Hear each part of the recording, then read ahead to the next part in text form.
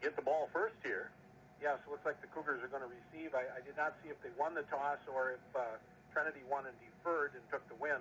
We do have a little bit of a, a I don't know, in between a light and a brisk wind Yeah. probably blowing out of the northwest right now.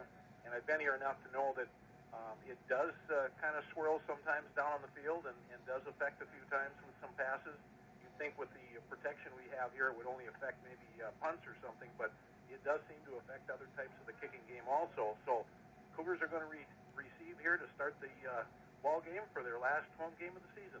Camacho is back deep for the Cougars, and he's standing right around his nine, eight yard line for the Cougars and getting set to kick off here for Trinity Bible College's number six, Christian Troxler. And he's got himself a leg. He uh, was kicking some 55 yard field goals, and here it's a number.